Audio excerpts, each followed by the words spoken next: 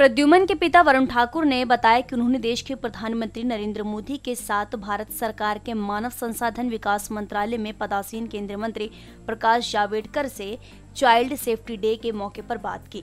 इस मौके पर क्या कुछ कहा उन्होंने सुनिए। पैटर्न का जो किया गया है देखिए आज तो हम पहले तो उसकी पुण्यतिथि मना रहे हैं और हमने इस पुण्यतिथि को बच्चों की सुरक्षा के लिए सेफ्टी के लिए एक चैलेंज के रूप में लिया है। और हमने यहाँ से एक आज बैटन स्टार्ट करने का चाइल्ड सेफ्टी बैटन लॉन्च करने का प्रोग्राम बनाया है, जो बैटन हम पूरे कंट्री में हर स्टेट के सीएम के पास लेके जाएँगे।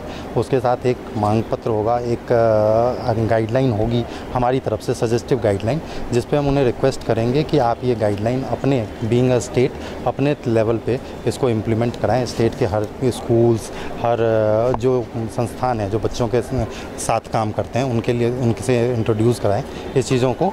और इस तरह से हर स्टेट के लेवल पे बच्चों की सुरक्षा को लेके एक अवेयरनेस स्टार्ट हो और चीज़ें इम्प्रूव हो। पिछले एक साल में क्या मानते हैं? कितनी अवेयरनेस आई है? देखिए, चीज़ें तो नो डाउट बहुत इम्प्रूव हुई हैं। लोगों में, लोगों का इस मुद्दे पर टेंशन तो है। लेकिन अभी भी मुझे ये लगता है कि जैसे जैसे घटना को समय बीतता है वैसे वैसे चीज़ें डाई डाउन हो जाती हैं। और लोग के जैसे जैसे दिमाग से विस्मृत होता है, वैसे ही चीज़ें उतर जाती हैं। लोगों के उससे भी। और सब कुछ व्यवस्था जो है फिर पहले जैसी हालात पे लौट जाती है। तो वो हम चाह रहे हैं कि एक दिन कम से कम गवर्नमेंट डेडिकेट करे चाइल्ड सेफ्टी के नाम पे सो दैट कि वो रिमाइंडर डे हो और उस दिन इस मुद्दे को पर सब विचार विमर्श करें, हर स्तर पे इसकी चर्चा हो और किस तरह से इसमें सुधार करना है, क्या इम्प्रूवमेंट लानी है, क्या नियम और कानून सख्त करने हैं, उन चीज़ों पर कार्य, काम हो और बच्चों की सुरक्षा सुनिश्चित सुनिश्चित बता दें कि आज ही के दिन रैन इंटरनेशनल स्कूल में एक घटना हुई थी जिससे पूरा हिंदुस्तान हिल गया था।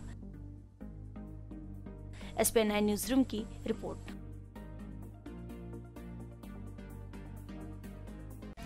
Start your career with us